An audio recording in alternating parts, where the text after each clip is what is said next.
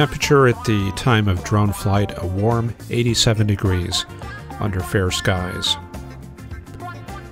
And there is a little bit of cirrus out there rather than just ignore it because the weather is fair. We always want to know where this stuff comes from. And for that, we're going to go to the satellite photo. This shows that patchy cloud over North Texas. If we run that back through last night into yesterday evening, we can see that that came from New Mexico, where we've had afternoon thunderstorms develop, and due to the prevailing westerlies being in place, it's carrying that moisture and debris downstream. So rather than New Mexico having a mostly cloudy night, they cleared out. Texas got the moisture, and New Mexico they had clear skies, which set the stage for another round of thunderstorm activity. Now here's one way we can visualize it. This is the 300 millibar relative humidity chart. This is going to be up at about 30,000 feet near the top of the troposphere. So there's a lot of residual moisture from those anvils. We run that forward. This is last night's model. We go forward to midnight then 6 a.m., then noon. You can see a lot of that moisture made it into the north part of Texas. And depending on where you are, relative humidity is at that layer running anywhere from 50 to 90%. The current surface chart for today, June 12, 2020, showing high pressure extending from central Canada all the way down through the Midwest and down to Texas and Oklahoma. This time of year, I would consider that to be the significant feature appearing on the chart. That's a vast mass of cold air extending down to the Great Lakes. You can see temperatures down to 70 at Chicago, 71 at Detroit. Now, that high pressure does extend all the way down to Texas, with a front being driven often in the Gulf, but there's been extensive modification of that air mass as a result, instead of lower 90s, mid 90s, we've got temperatures only in the mid 80s. So it doesn't seem like much, but we are getting a break. The other factor is the depressed dew points. 50 is just about everywhere you look from, say, Alabama to Dallas.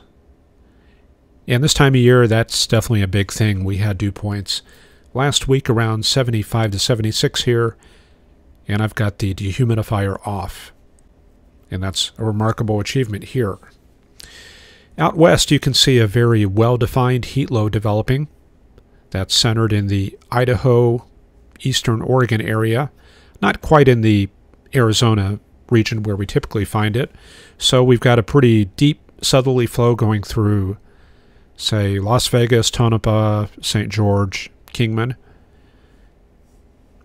West Coast looking a little bit cooler. I think we've probably had a slight influx of cooler air coming from the Pacific. Temperatures only in the upper 70s and low 80s through the San Joaquin Valley. And I think I should check the GFS, make sure we have not had frontal passage. Yes, I think we have had frontal passage.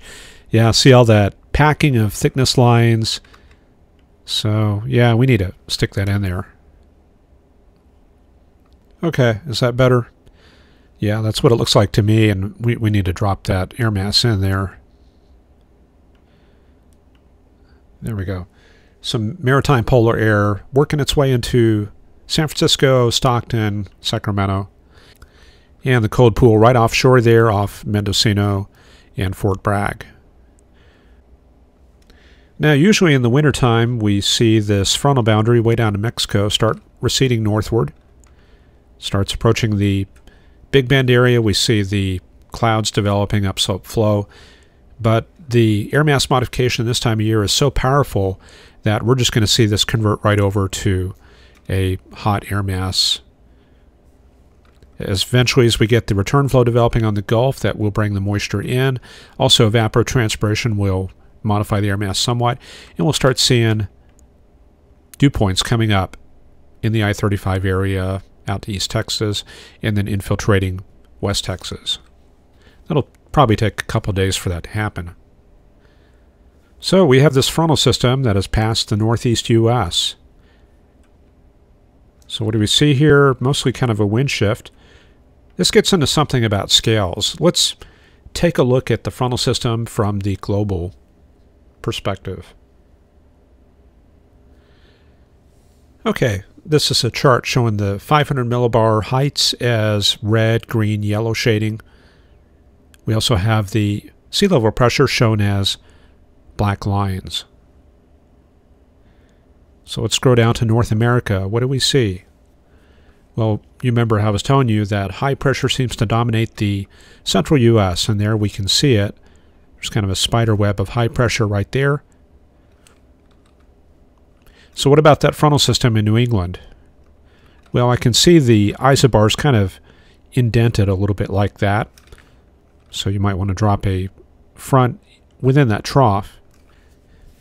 And we can also see that with the height coloring kind of packed together in that area, there's a jet stream being indicated through that region. So that would be supporting that front. And a similar thing showing up on the west coast, jet running through that area. In fact, they just kind of connect together. So there is a frontal system likely on the west coast, and if we use our rule of thumb, going upstream from a, ridge and downstream from a trough, see there's a trough, there's the ridge, that would put a frontal system, I'm going to put that in yellow, probably right through there, which matches well with the surface data, and likely another frontal system kind of in here. That's just kind of a very rough preliminary look. You know, we know to look for it in those areas. They may not actually look like this. So, our, yeah, our surface system is in there, and it, it likely connects back up to the north as a occlusion because we're not going to find warm fronts and cold fronts way up there north of the jet. That's a graveyard there for weather systems. So we don't see much detail on that frontal system there in New England. It just looks like a big trough. What if we zoom in and take a look at things a little more closely? Well, if we zoom right in on the continental U.S., I can see that trough a little bit better. It looks like there's one right there, and there's another one through here. Now, e either of those could be the frontal system. In fact, going by this, I would say this is probably the cold front, and I think the warm front would be extending maybe up through here, possibly even a little further north. And what if we go all the way in? Yeah, by the way, thanks to Tropical Tidbits for these maps. Let's go right into the northeast U.S. And there, we've got even a, even more detail. So there's that one trough right there, probably representing the front, and that other trough. I mean, we can pretty much isolate that right down to the counties. What we've shown you is a very basic introduction to mesoscale versus synoptic scale. This is a kind of a mesoscale look at the weather. And this is a synoptic scale look at the weather. You're not going to really see any mesoscale features. That's because they occupy different scales of space and time. Here's a graph showing the different scales of weather systems. Now obviously those charts looking at the North American and Northern Hemispheric view, those are going to pick up systems in this scale right here, 100 up to maybe 10,000 kilometers. So that's going to capture hurricanes, tropical storms to a certain extent, Definitely going to capture highs, lows, long waves, but not land and sea breezes, not thunderstorms, not tornadoes. So this is all synoptic scale. Now down in the, say, 10 to, I would say, 500 kilometer range, this is the mesoscale. So this includes hurricanes, tropical storms, also a lot of your larger thunderstorms, most land and sea breezes, it's going to capture that. So when you're looking at those zoomed in views, like this right here, you're going to get some mesoscale detail as long as you have a model that is running at mesoscale resolution, such as the high resolution rapid refresh, the higher resolution WRF runs, and surprisingly, even some of the global models are running at mesoscale resolution. The other factor is you have to have output from the models that is mesoscale in resolution. You can see that in digital atmosphere. This has not been released yet, but it shows that with the GFS right here, you can get grids that are 140 kilometers in scale. So that means anything smaller than that, you're going to be missing a lot of detail on. So it's not going to pick up thunderstorms very well. So even though the model might be handling it okay, it's not going to display with this kind of grid. You would have to pull out these more detailed grids like 27 kilometers, but as you drill down, you're dealing with bulkier and bulkier data sets. And some of those full model data sets are up in the gigabytes. Now, one way you can get around that is to go to a model website that handles that stuff at the full resolution of the model. But anyway, we're getting off track. Uh, the general idea. So models do have a certain spatial scale in other words, the size of the features it's handling. They also have a time scale, which is very important. And that tends to follow kind of a linear relationship there. So generally, the bigger the weather systems, the longer the scales that they occupy.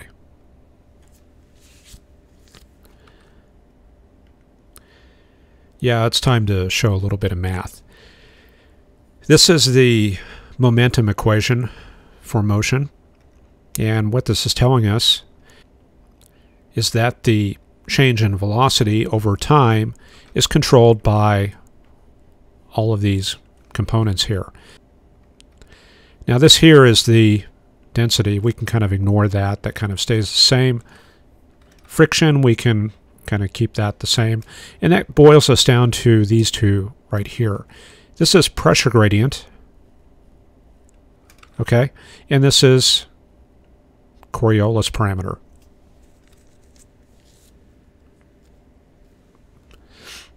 which is controlled by the velocity of the moving parcel. Now this is going to kind of remain constant in the area that we're using for this little thought experiment, which leads us to this right here, the pressure gradient term. This is the change in pressure over a certain change in distance. Obviously, if you've been around weather, you can kind of understand that. Pressure gradient force is the change in pressure over a unit change of distance. Now, if we look at weather across the U.S., 1008 millibars out in Utah, 1024 in Texas. So we've got a change of about 14 or 15 millibars over a 1,000 kilometers. Can the models handle that very well? Yeah, definitely. This is well resolved by dynamical models that we have. So, well, you've probably seen the diagrams of flow in a thunderstorm. You've got a thunderstorm right here producing high pressure near the surface and sometimes a little wake low out behind it. What are the exact pressures in a thunderstorm? Well, here's an example of a barograph for St. Louis on June 27, 2011, when they had a bow echo pass through the area. And you can see there's a change of almost 0.20 inches. That's about 8 millibars. So here, 8 millibars over a scale of what's probably miles. That's a pretty huge pressure gradient. And if we go back to this, this pretty much overwhelms the contribution of Coriolis force. Well, some of you may have seen these surface analyses that have the geostrophic wind scale printed on them. And that's where you can take the contour intervals like here, here, and you take the distance between the two, find your latitude, and that gives you the geostrophic winds. In this case, looks like the example is about 25 knots. Well, if you took that storm sample there that's got 7 millibars across maybe 5 miles, which is about 4 miles for 4 millibars, you would be way up in this range right here, like winds of 200 to 300 knots. So obviously that's not the case. We don't have 200 knot winds at the surface. And that's because those kinds of small scale winds are not driven by the geostrophic balance. So mesoscale models have to be able to account for those kinds of processes and not strictly look at weather systems in terms of Coriolis force and pressure gradient. And that's one reason why mesoscale models are so sophisticated. They have to account for a wide variety of processes and also handle the mathematical noise that develops in those types of solutions. And we'll take a look at a Europe since there is some weather out there.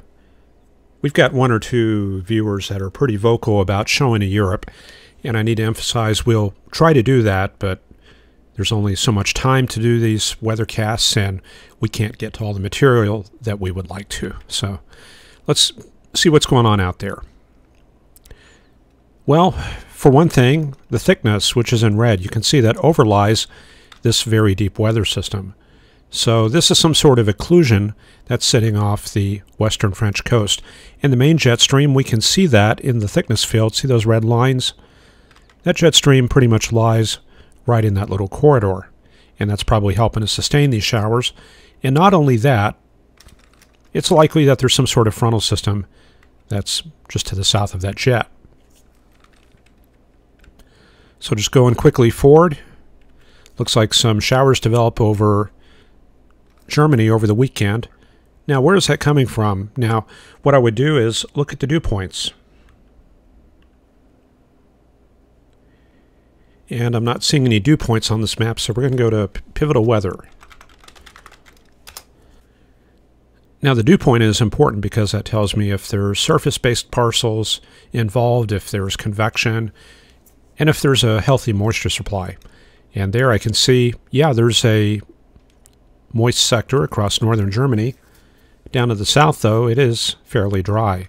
Let's look at the evolution of this system. This is for this evening, and we'll run this forward. It appears that our moisture supply is coming from Poland, and it's moving towards the west. And you can see dew points near 66 Fahrenheit, which is way up there. So we're going to look at some parcels. This is going to be for midday on Saturday.